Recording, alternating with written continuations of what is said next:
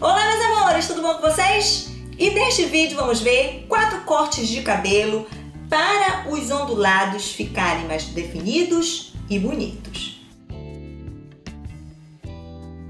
E só para não perder o costume, já peça seu like, se inscreva nesse botão vermelhinho aí para fortalecer o nosso canal e a nossa amizade. E se você tem os fios naturalmente ondulados e não consegue deixar a textura definida, o problema pode estar no corte de cabelo. E a boa notícia é que é possível aproveitar melhor o seu tipo de cabelo e acordar a Gisele Bint que existe em você.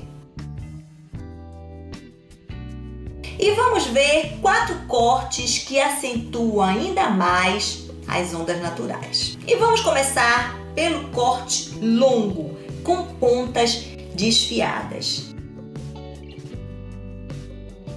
E ele é ideal para os fios ondulados. E essa é uma boa opção para quem deseja um volume mais distribuído com a forma dos fios mais definida. E a aposta é no repicado somente nas pontas. E você pode fazer com o comprimento inteiro, sem fazer camadas,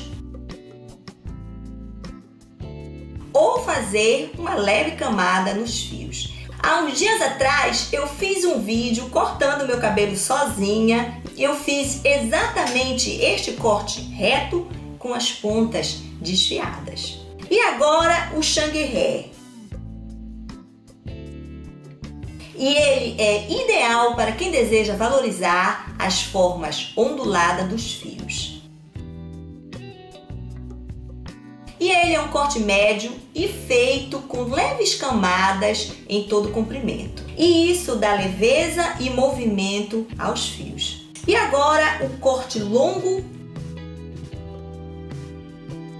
feito em camadas, que é perfeito para destacar os cachos e o ondulamento dos fios. E ele fica melhor ainda fazendo um repicado na parte frontal dos fios.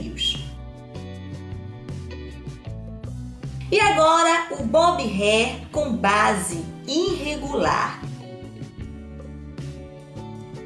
E ele é ideal para os fios ondulados. E o bob hair é um corte médio feito na altura dos ombros e pode ser desfiado, muito bem desfiado, nas extremidades.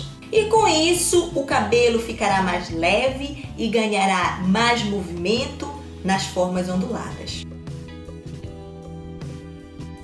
E agora que você já sabe o corte que valoriza o ondulado dos fios, então comente, curte, compartilhe e se inscreva. E este vídeo está acompanhado no blog com mais informações. Meus amores, me sigam no Instagram, Alessandro Velay, que lá eu estou meio que em tempo real e vocês estão um pouquinho mais pertinho de mim.